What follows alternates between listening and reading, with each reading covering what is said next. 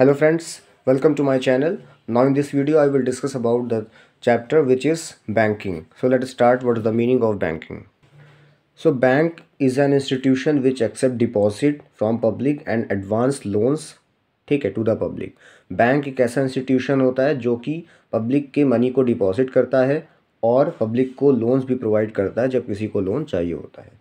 Institution क्या है? एक ऑर्गेनाइजेशन। ठीक है, ऐसी संस्था होती है जो पब्लिक के डिपॉजिट पब्लिक के मनी को डिपॉजिट करता है और उन्हें लोन भी देता है। उसको हम कहते हैं बैंक। एक मैंने छोटी सी मीनिंग लिखी हुई है, आपको हम दिखाते हैं। ठीक है मेरी सेल्फ नोट्स है, देखिए।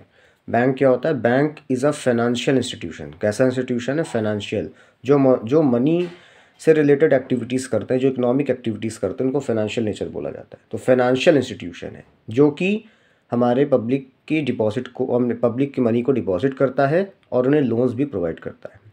और इसीलिए हम इसको क्या बोलते हैं? कॉमर्शियल बैंक भी बोलते हैं। ठीक है, जैसे आपने जितने भी कॉमर्शियल बैंक देखे, जहाँ आपने अकाउंट खुलवाए होंगे सेविंग करंट या जो भी, वो क्या करते हैं? पब्लिक के डिपॉजिट आपके मनी को डिपॉजिट करते हैं, उन्हें लोन भी देते हैं। तो वो सब कॉमर्शियल बैंक है जो आपके घर के आसपास खुले होते हैं। दैट क्लियर चलिए।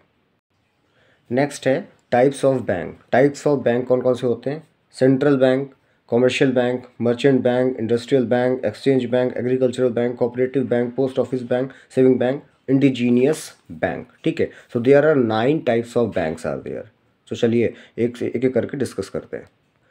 तो फ़र्स्ट है आपके टाइप्स ऑफ़ बैंक में सेंट्रल बैंक सेंट्रल बैंक क्या होता है? ये सभी बैंकिंग सिस्टम का लीडर होता है, यानी सभी कॉमर्शियल बैंक का लीडर होता है।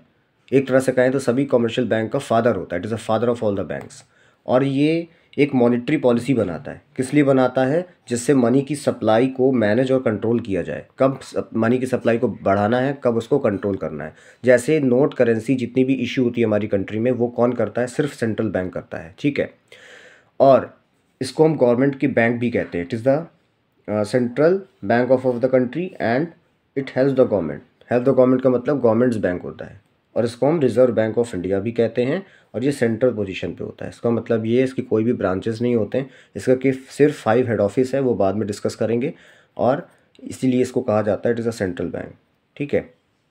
एक बार मैंने जो बताया हुआ है, ये पॉइंट्स में मैंने लिखा है। इस पॉइंट्स को ध्यान रखिएगा सेंट्रल बैंक के बारे में। फ़र्स्ट है it is the apex institution apex का मतलब होता है सुप्रीम बॉडी है, ठीक है? इसके कोई ब्रांचेज नहीं होते, ये सुप्रीम होता है और ये रिज़र्व बैंक ऑफ़ इंडिया इसको कहा जाता है आरबीआई शॉर्ट पे बोलेंगे। ये बैंकर्स बैंक है, सभी बैंकों का फादर है और बैंकर्स का बैंक है। और गवर्नमेंट्स बैंक गवर्नमेंट का एडवाइजरी बैंक है, इसलिए इसको गवर्नमेंट का बैंक भी कहते हैं। और father of all the bank सभी बैंकों का फादर होता है, ठीक है? नेक्स्ट है कॉमर्शियल बैंक कॉमर्शियल बैंक क्या होता है? These are the joint bank which receive देखिए जो मैंने अभी इसकी डेफिनेशन लिखवाई थी ना bank is an financial institution which accept deposit and grant loan जो पब्लिक डिपो जो पब्लिक की मनी को डिपॉजिट करता है, उन्हें लोन देता है। तो ये कंज्यूमर बैंक है। तो इसी को हम बोलते हैं कॉमर्शियल बैंक ठीक है? बैंक क्या करता है? ये पब्लिक की मनी को डिपॉजिट करता है, उन्हें लोन भी प्रोवाइड करता है। और वो किस एक्ट के अंदर चलता है? इनका बैंकिंग रेगुलेशन एक्ट है 1949 उसके अकॉर्डिंग ये वर्क करता है, ठीक है? और ये आरबीआई की गाइडलाइंस को पूरी मानता है फॉलो करता है तो आर इसका फादर इसीलिए कहलाया जाता है। इसके हिसाब से पूरी एक्टिविटीज़ करता है, खुद से सारे वर्क नहीं करेगा। कुछ रूल्स एंड रेगुलेशंस होते हैं, उसको फॉलो करने होते हैं। तो सेंट्रल बैंक के बेसिस पर कॉमर्शियल बैंक वर्क करता है और अपने एक्ट को भी फॉलो करता है। इज़ दैट क्लियर और ये पब्लिक बैंक है it is a public bank next है इंडस्ट्रियल बैंक इंडस्ट्रियल बैंक कौन से होते हैं? इंडस्ट्रियल बैंक वो बैंक होते हैं जो कि फाइनेंस यानी लोन्स प्रोवाइड करते हैं सिर्फ़ इंडस्ट्रीज़ को।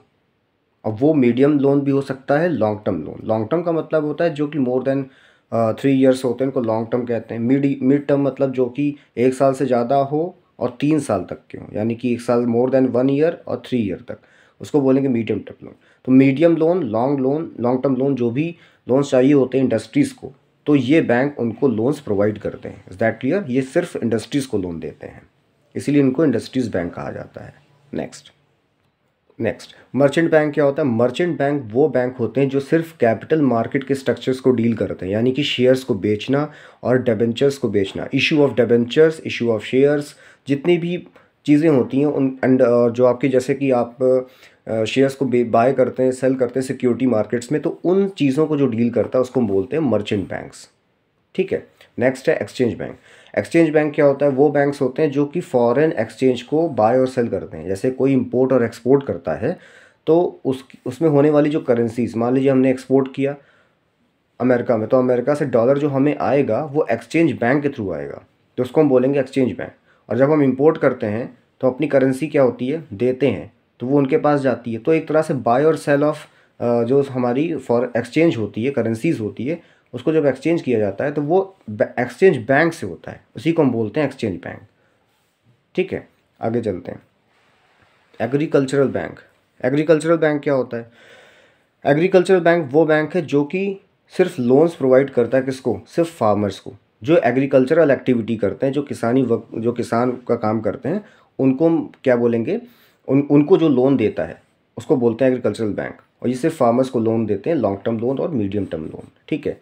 और इसी का एक इंस्टीट्यूशन था, जो कि नाबार्ड जिसको हम कहते हैं national bank for agriculture and rural development ये इसलिए इस्टेब्लिश हुआ, ये सिर्फ़ रूरल एरिया में ओपन हुआ और ये लोन्स देने के लिए ओपन हुआ। किसको? एग्रीकल्चरिस्ट को। जो एग्रीकल्चरल एक्टिविटी करते हैं, जो किसान होते हैं, जो फार्मर्स हैं, उनको जब लोन देते हैं तो उन्हें बोला गया नाबार्ड।